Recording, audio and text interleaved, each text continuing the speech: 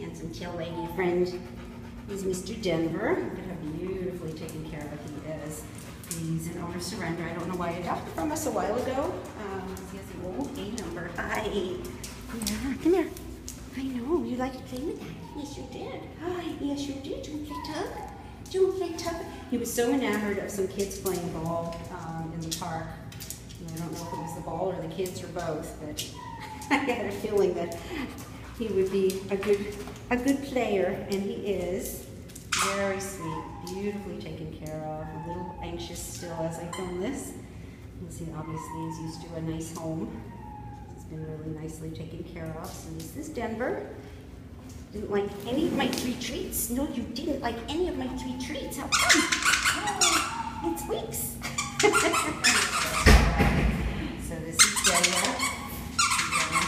Care Center. Squeaking away with his toy. Cute is he? Denver in the back.